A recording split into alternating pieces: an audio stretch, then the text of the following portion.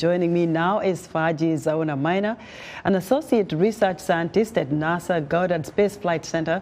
Maina was born in Niger and is the first Nigerian woman to work for NASA, among many other accomplishments. Fadji, welcome to Africa 54. Thank you. You know, I'm so excited to hear you're working for NASA, first one, first everything. So, at what age did you decide you wanted to become a scientist and what drove you to that interest? So I would say I have always been curious. Like by the age of five, I grew up like asking a lot of questions. But growing up in Niger, actually, I didn't know if that means like being a scientist because scientists basically are trying to answer like questions that we have in our universe. So I, I don't have like that idea of science because I was growing up in Niger. But I would say like I was curious by the young age, and also I loved to study when I was like really young. So that's like my passion has always been to study, to work, to go to school, and then to also like kind of ask a lot of questions. So tell us, how did you end up with NASA, and what do you do there? So I would say I have never imagined. I mean, it was a dream, like a childhood dream. You know, as all the child children in like in Africa, we want to see ourselves in that kind of big institution like NASA.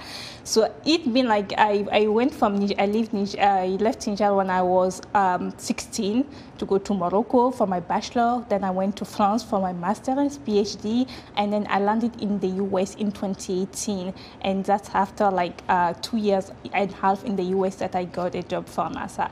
What I'm doing right now at NASA is trying to understand the impact of climate change on water resources using NASA satellite data and high performance computing.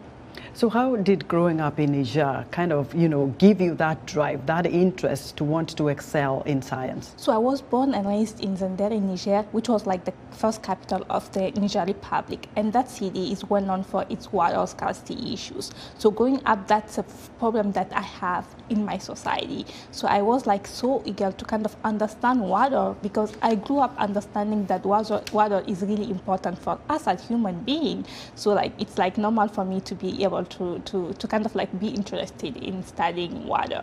You know, uh, when I was looking up at uh, what is listed about you, I saw that you were listed in the 2020 Forbes 30 under 30 ranking and by New African magazine as among the 100 most influential Africans. What's your advice to young women, young girls out there who would like to be like you? I would say just be passionate about what you are doing. Try to find your passion and work hard because you never know when your work is going to take you. It took me from Zinder to NASA, so you never know when you're going to end. So just be passionate about your work and really work hard. Be serious in the work that you are doing, and everything is possible. I just want to say to them, everything is possible in this world. So when we think about NASA, everybody thinks, okay, we're going to take the rocket and go. When are you? what's your next goal? Are you thinking about, you know, flying, being one of those first women? I mean, right now, I like my passion, like on my work, is studying using those data that's coming from space. So probably I would like to stay on Earth and trying to see, uh, to analyze all the data that are coming from space, and then trying to capture how water is traveling on Earth, basically. Yeah, I would say more satellite. My I'm more interested in having more satellite than going to space. well, I have to ask you this.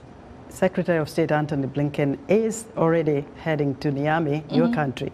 What do you expect out of this meeting? I expect that this is going to strengthen the relation between uh, U.S. and Niger in science for sure. Because I'm a scientist, why not having more scientists from Niger coming to the U.S.